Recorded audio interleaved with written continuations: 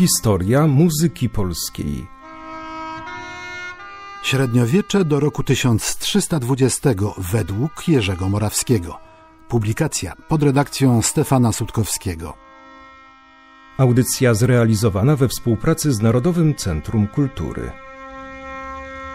Na mocy ustawy sukcesyjnej Bolesława Krzywoustego państwo polskie zostało podzielone na dzielnice. Według założeń dokumentu główna władza należeć miała do księcia zwierzchniego, którym każdorazowo miał zostawać najstarszy przedstawiciel rodu. Do jego obowiązków należały obrona granic państwowych, prowadzenie polityki zagranicznej, mianowanie arcybiskupa i biskupów, prawo bicia monety.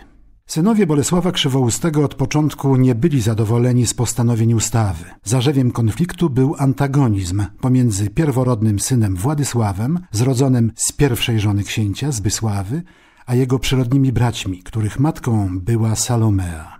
W efekcie kraj znalazł się w obliczu silnych zagrożeń zewnętrznych, albowiem rozbicie oznaczało osłabienie militarne. Wzmógł się napór książąt i margrabiów niemieckich na ziemię zachodnie oraz czeskich na Śląsk – Pomorze Zachodnie i Wielkopolska znalazły się w strefie ekspansji marchi brandenburskiej. Ten fragment historii Polski tradycyjnie nazywamy okresem rozbicia dzielnicowego. Zwykło się określać jego trwanie na czasy od roku 1138, czyli daty śmierci Bolesława Krzywoustego, do 1320, roku koronacji Władysława Łokietka.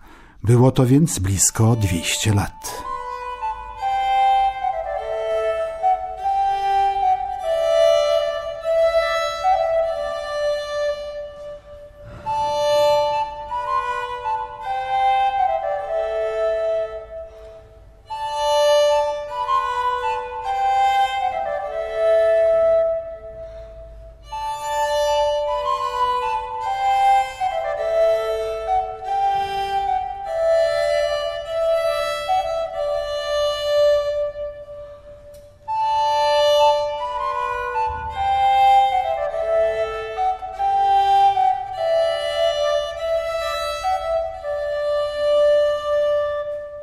Naszym cyklu wkraczamy dziś w ten jakże burzliwy okres historii naszego państwa, koncentrując się oczywiście na zagadnieniach związanych z uprawianą wówczas muzyką.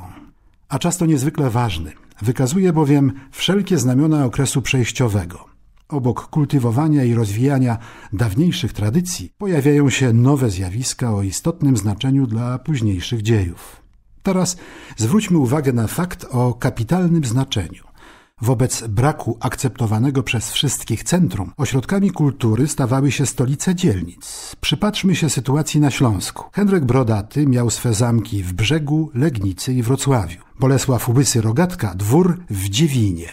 Henryk IV Probus w Wielczu, Kazimierz I w Opolu.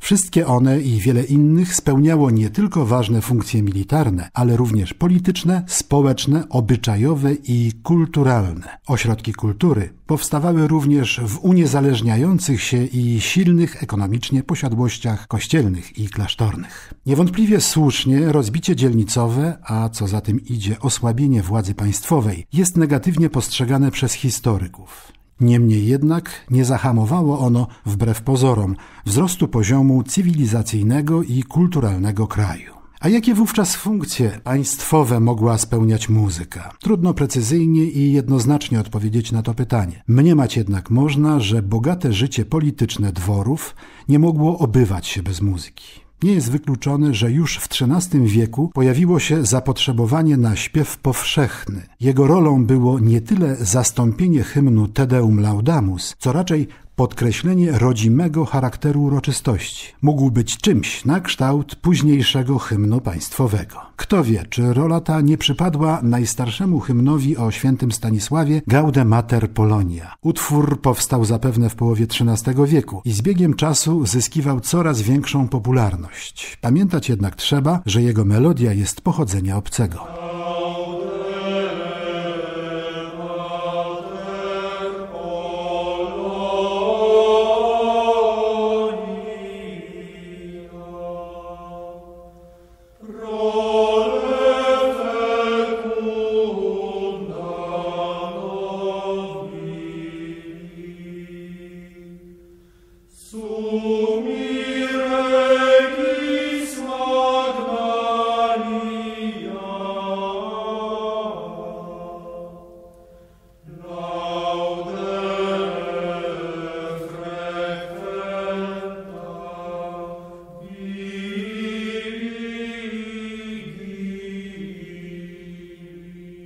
Podobną rolę, ale na znacznie większą skalę, spełniała niewątpliwie Bogu Rodzica. Napisana po polsku, odegrała ważną rolę w tworzeniu i umacnianiu poczucia świadomości narodowej, a było to bardzo istotne w okresie przełamywania polityki rozbicia dzielnicowego. Muzyka, jako jedyna ze sztuk, nie tylko uczestniczyła w życiu politycznym, ale potrafiła weń ingerować. Więcej miejsca Bogu Rodzicy jako wybitnemu dziełu sztuki poświęcimy później w naszym cyklu. Uroczystości o szczególnym znaczeniu, takie jak ważne dla dynastii śluby, książęce urodziny, pogrzeby, zjazdy, gromadziły znaczną liczbę ludzi reprezentujących wszystkie stany. Podczas przygotowań do nich zwracano uwagę na udział muzyki. Niestety, nie dysponujemy na ten temat żadnymi źródłami bezpośrednimi, ale i opisy owych uroczystości dają możliwość podjęcia prób odtworzenia ich obrazu. Trzon ceremonii tworzyły akty kościelne. Wymagały one udziału duchowieństwa i muzyki związanej z udzielaniem sakramentów. Pieśni wykonywano już z udziałem wiernych. W innych okolicznościach pojawiały się utwory świeckie, panegiryczne oraz tańce związane z zabawami lub turniejami.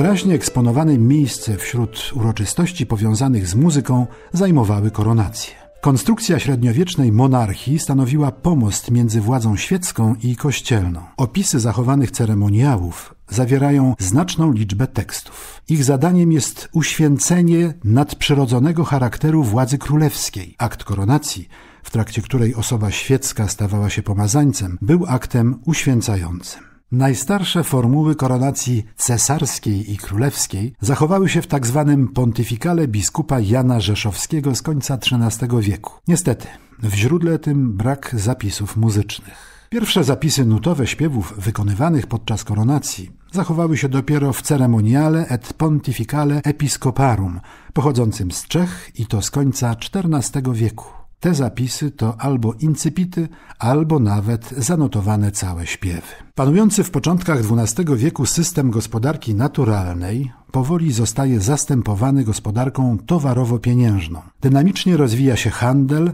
wzrasta liczba miejsc targowych. W ślad za bogaceniem się społeczeństwa podąża rozwój kultury. Również kontakty zagraniczne, które bynajmniej nie zmniejszyły się w okresie rozbicia dzielnicowego, miały wpływ na rozwój kultury polskiej. Książęta piastowscy zawierają małżeństwa z przedstawicielami rodów zachodnich, ale nie tylko.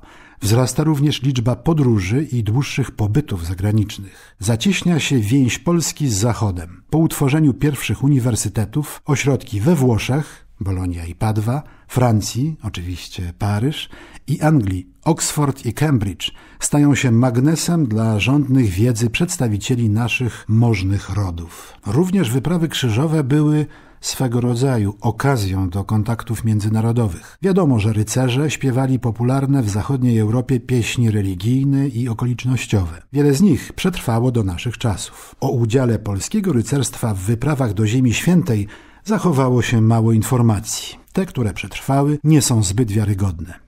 Polska wykazywała o wiele większe zainteresowanie ziemiami północnymi i regionami pogańskimi położonymi nad Bałtykiem, takimi jak Prusy, Inflanty czy Litwa. Ponawiano w XIII wieku próby ich podbicia i chrystianizacji. Leszek Biały wyprawiał się do Prus w latach 1222-23. Ale wspomina się również o podróży Władysława II, który z Bolesławem Wysokim wyruszył w 1147 roku na drugą wyprawę krzyżową. W 1154 roku był w Palestynie Henryk Sandomierski, syn Bolesława Krzywoustego. Ponoć byli też i inni.